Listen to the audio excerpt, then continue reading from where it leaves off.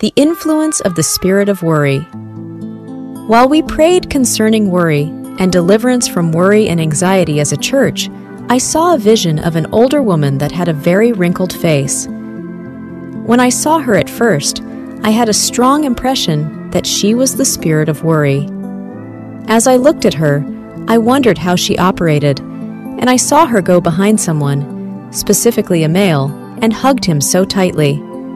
Because of the weakness of her embrace and how comfortable she made him feel, he accepted her further into his arms to the extent that she came inside of him and turned him into an old woman. When he became an old woman, he began to wrinkle and fade away like old people.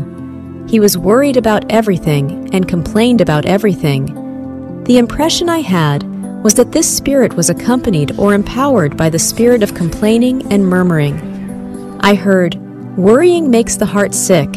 It makes you disregard the goodness of God in your life. Worry makes you complain and murmur as the Israelites did. Do not worry, do not complain. Live every day as though the Lord has it in store for you, the things He has planned out. After I heard this, I had an impression that the freedom from worry will restore back people's youth to them, because it seemed like the oppression of worry was taking away their youth and making them look older than they were. I saw that when this spirit of worry came out of this particular young man, he looked much more younger than he was before.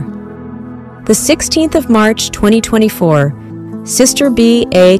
Copyright Gamwatch.